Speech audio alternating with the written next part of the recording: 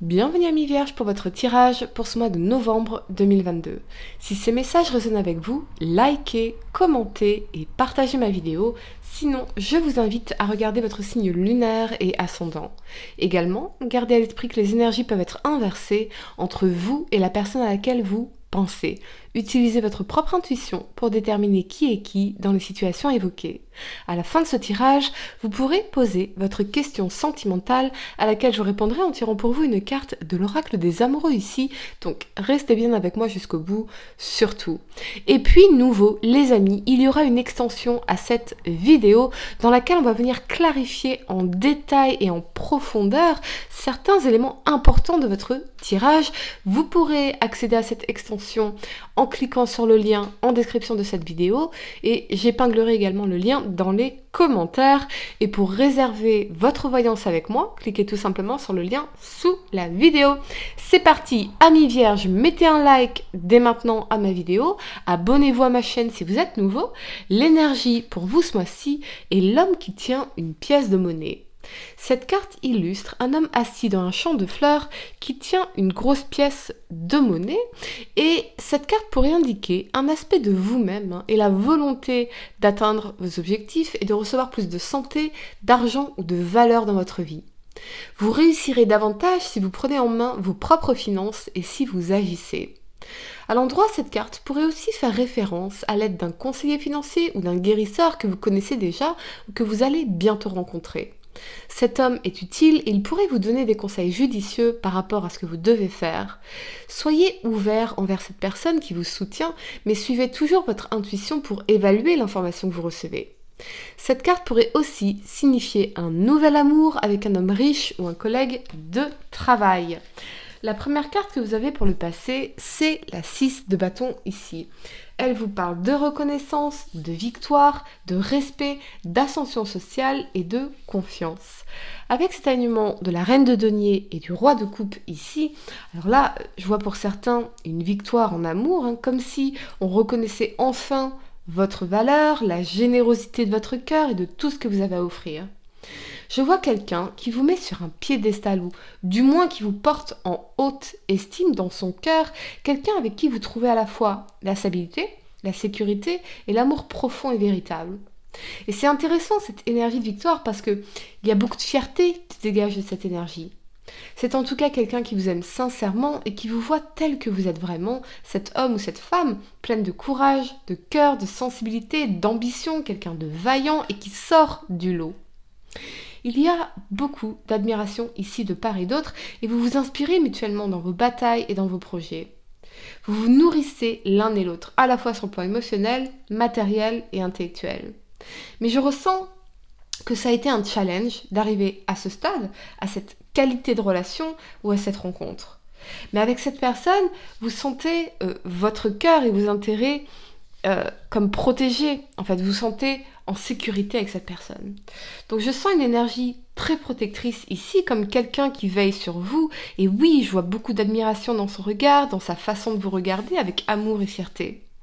Je vois aussi une réussite sur le plan professionnel et financier, une forme de concrétisation ou de reconnaissance de vos talents, de vos qualités et de vos mérites. Vous pouvez regarder fièrement en arrière et contempler le chemin parcouru. Pour d'autres, si vous êtes célibataire, je vois quelqu'un qui vous veut et euh, qui ne va rien lâcher. C'est comme si cette personne était persuadée d'avoir trouvé sa perle rare et il ou elle se battra jusqu'au bout pour vous séduire, pour vous conquérir, même si vous, vous semblez être bien plus mesuré, réservé, voire intimidé.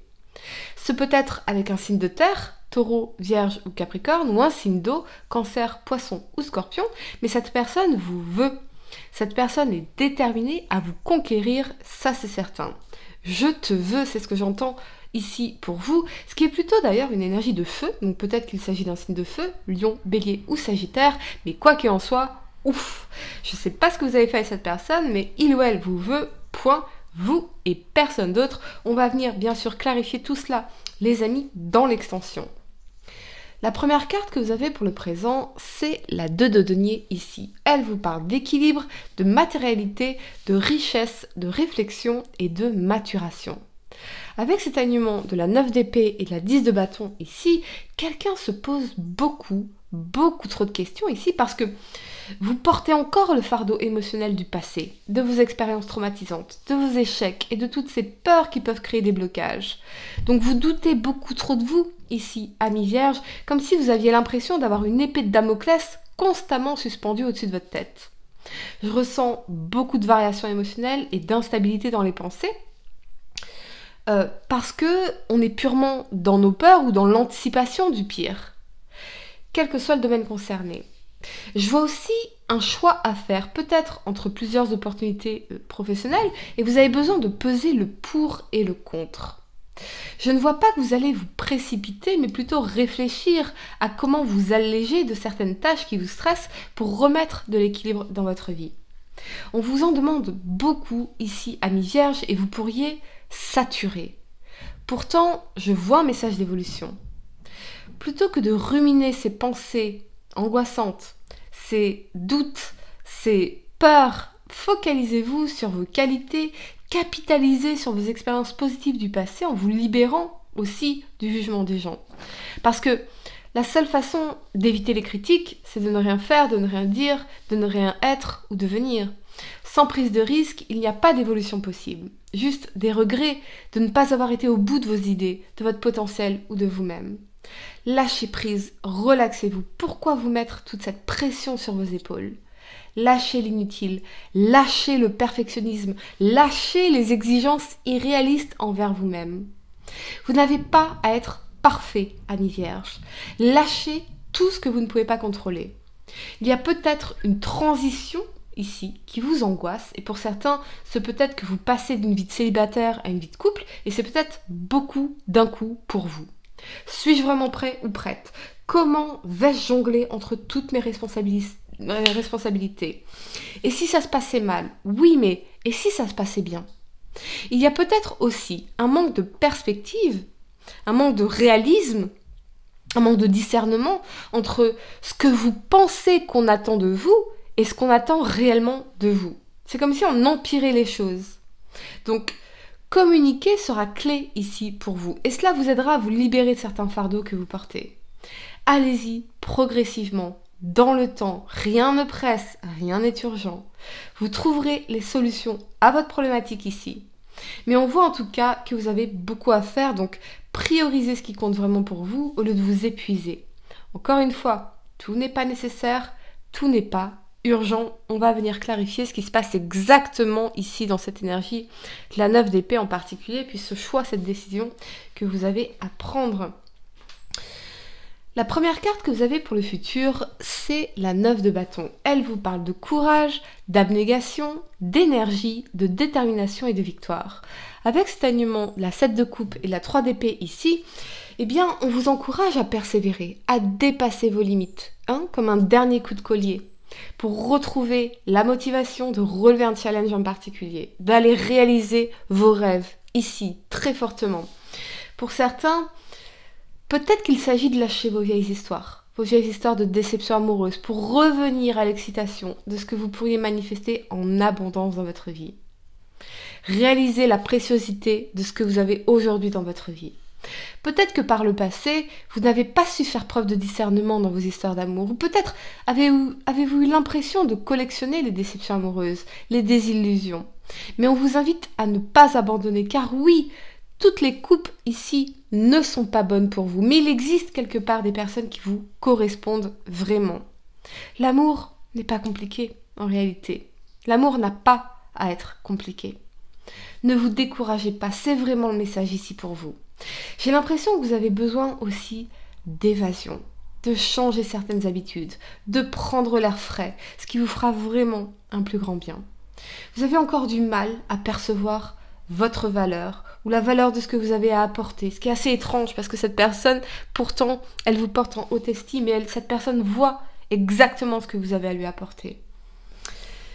C'est comme si euh, vous mettiez des obstacles inutiles Hein, ce qui rend les choses plus difficiles qu'elles ne devraient l'être. Ou c'est peut-être l'énergie de la personne à laquelle vous pensez, mais je ressens que c'est plutôt la vôtre, véritablement.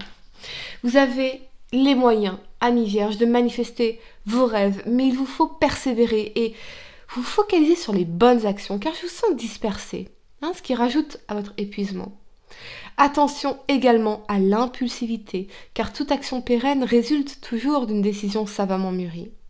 La neuf de bâton, ici, c'est l'énergie du guerrier blessé, et vous pourriez avoir envie d'abandonner une situation, une relation, un rêve, un projet, sur le coup de cette impulsivité. Parce que vous vous sentez submergé, émotionnellement, comme un burn-out. Pour certains, c'est peut-être que votre imagination vous joue des tours en vous laissant croire que vous serez forcément quitté, abandonné pour une autre personne, et c'est vraiment ce que je ressens en particulier. Il y a cette histoire du passé qui vous a été très difficile à surmonter et vous la projetez malgré vous dans ce présent ou ce futur si vous n'avez pas encore manifesté cette personne dans votre vie. Il y a une vieille histoire qui n'est pas encore digérée, acceptée, intégrée ici. Quel que soit ce challenge, n'abandonnez pas, parce que la réussite est bien à votre portée. Il y a quelque chose qui semble menacer votre sentiment de sécurité et d'accomplissement, mais je sens vraiment que ce n'est en réalité que la projection au présent de vos expériences douloureuses et de vos échecs du passé. On va venir bien sûr clarifier tout cela, les amis, dans l'extension. Allez, je vais vous donner quelques secondes pour réfléchir à votre question sentimentale, amis vierges. Mettez un like dès maintenant à la vidéo. Abonnez-vous à ma chaîne si vous êtes nouveau. Allez, amis vierges, signe solaire, venir ascendant. Essayez de poser une question spécifique, les amis, pas quelque chose en oui ou non. Et voyons, amis vierges, signe solaire, venir ascendant, quelle est la réponse à votre question sentimentale pour ce mois de novembre 2022 Allez, amis vierges, je souris. Pourquoi je souris? Pourquoi je souris? Hein?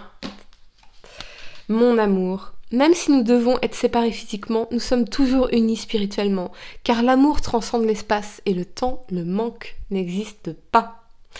Voilà mes vierges, j'espère que cette guidance vous a aidé. Mettez un like à ma vidéo, abonnez-vous à ma chaîne euh, si vous êtes nouveau, dites-moi en commentaire si ça résonne avec vous. Et pour réserver votre voyance avec moi, cliquez tout simplement sur le lien sous la vidéo. Moi je vous dis à très bientôt pour de nouveaux tirages. Namasté